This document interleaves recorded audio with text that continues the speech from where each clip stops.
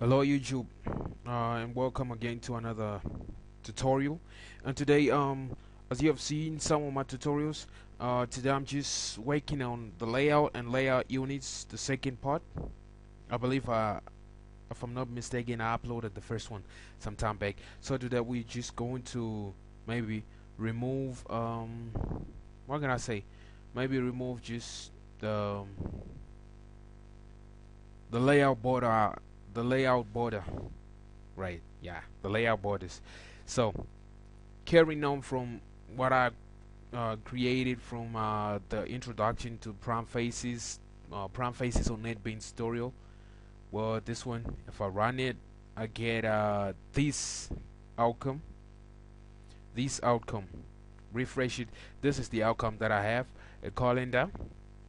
Click me button uh, PrimeFaces and then I click here button uh, the normal access XHTML and then the hello there. So what I'm gonna do is uh, I'll make this hello world. I'll make it hello world. Hello world. And thanks to Optimus he made us do this. So I'm gonna remove the calendar.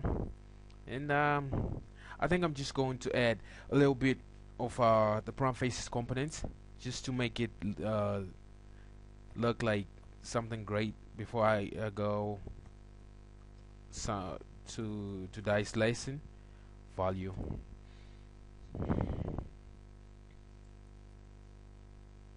Username.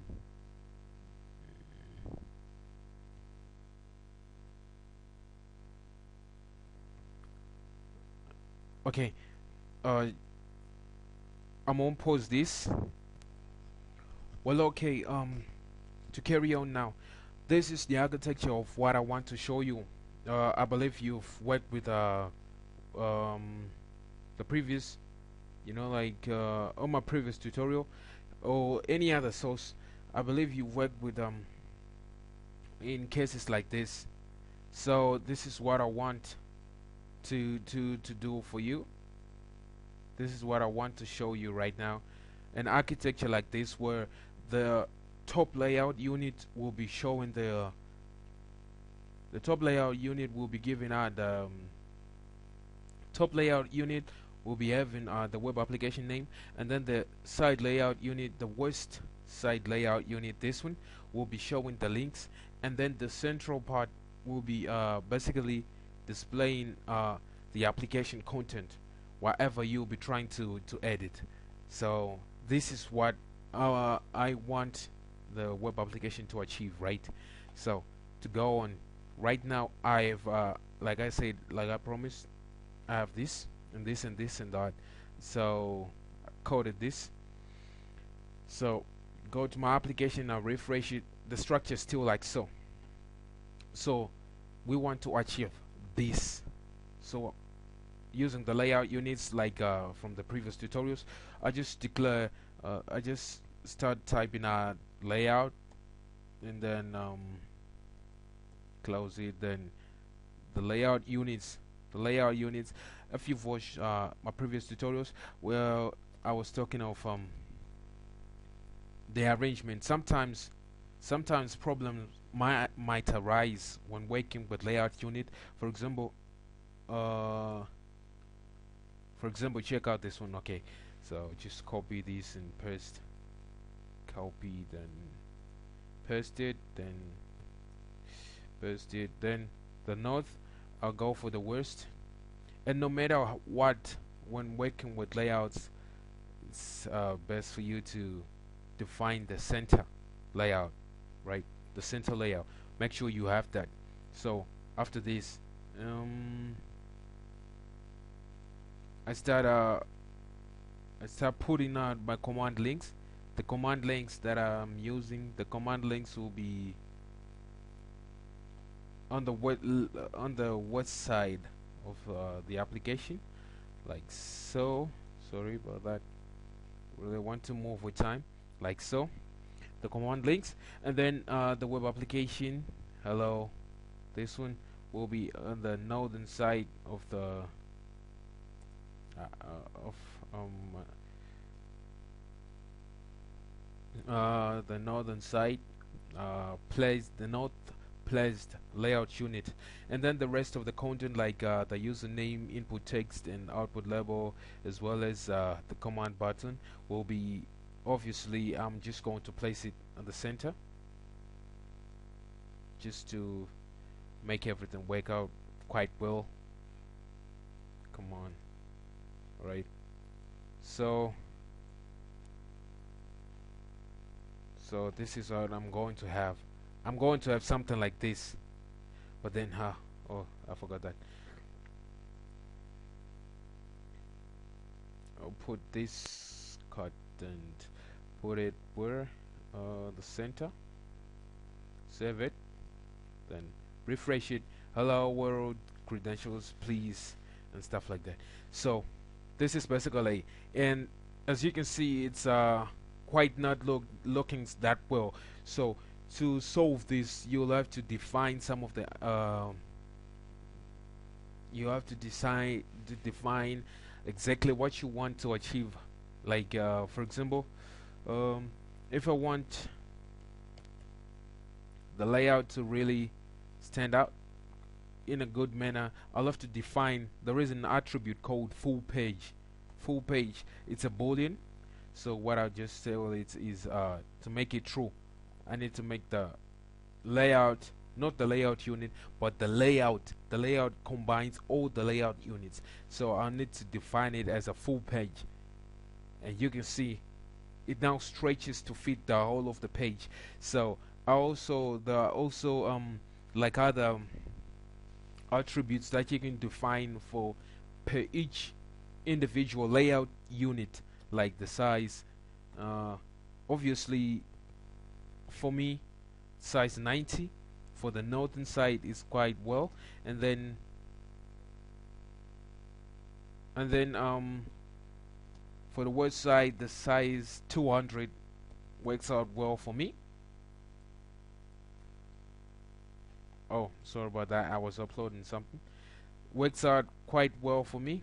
So oh so refresh it as you can see it's now laid out quite well. And then uh, I'll have to just add a little bit then we'll go straight to the agenda of this uh, of this um let me let me just expand it. Yeah. Like so. Um on the center side I think I'll just have to add uh, PrimeFaces panel grid PrimeFaces panel grid with uh, two columns. I just want to define the layout of my table. Paste that. Save it. Then I'll remove all the breaks sorry I'm sorry then I'll remove all the breaks the break the break. Okay so using the panel grid this is what I get. And uh, yeah. Also I have all these uh, links like so. So if you want to do something you, one thing you have to know is if you want to work on something uh, um, is uh, that is the PrimeFaces component. What time is it? Oh, eight minutes. Uh, the PrimeFaces component. You uh, you like I said, I once said it in one of my tutorials. You have to know the uh, CSS. Sometimes defining it is not uh, within. Sometimes defining it is uh, based on um, the CSS of that component. So let me say, for example, I want to edit. Um, this link or even this layout unit the website you can just as the minute you know the CSS file the CSS class rather for that layout unit uh, that's when everything will be quite easy to work on. So if you don't know them uh, you can look for them via the internet. You can just go google it or you can just uh, go um, Google it, the list of uh, all the CSS uh, classes in PrimeFaces. You can search that, and um, you can also search on all the icons that the buttons in PrimeFaces can have, like so. the jQuery UI um, as well as um, yeah yeah I'm, I'm wasting much time so the other way if you really don't have the internet at that time you can just uh, try to work around with it like um, most browsers. For example me I'm using the Google Chrome. I like it so much. I like Google Chrome. I like googling. So I just right click on it and then right click on the element that you want and then click on inspect element. Right click on it inspect element and then uh, the editor comes out as you can see. Like so. Every time you move you move a mouse on uh, the code the corresponding unit or component uh, on that web application gets highlighted. And as you can see ah why does it come keep doing this? As you can see for this uh, western uh, layout unit the minute I highlight this is the the component that I want to inspect right? And as you can see it is the class UI layout unit right? Layout unit content and then UI widget content and then the other things the respect the the position the style. So if you want now that we want to remove these lines from PrimeFaces we want everything to act as if uh, it's normal yet uh, there will be in a in a in layout units. We just go to you can just copy this or you can just come over here check out the layout units and then edit this like so. I can just copy this part. Copy it go back to my go back to my go back to my IDE then paste it and then do this and that. And sorry and to remove now to remove the the the the, the layout unit border lines you just now that you know the class you just type border equal to what? Equal to none border equal to none you save that and then after saving it you see these lines disappearing. Ah I'm sorry about that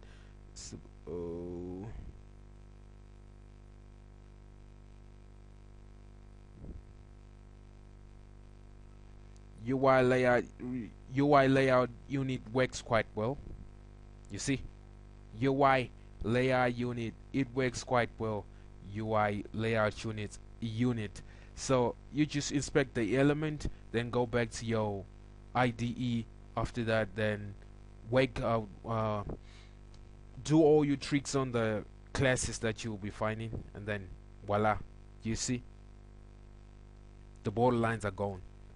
And if I remove it like so then save it run again run again the border lines come up again. So sometimes you will need to um, you need to work with that. So thanks for watching and um before I go I'm just going to experiment a bit on uh,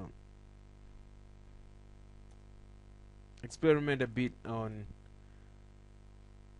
something that I want to see if it really works but I believe it's just, it's just gonna work right? Like chocolate. I just want to change the back color. You see you see like the lines have changed to color that color so maybe you want to pimp out your application that much. This just um, one thing that you can do. This is just one thing that you can do. So for a go I'll launch it for the last time. Red thank you for watching. Thank you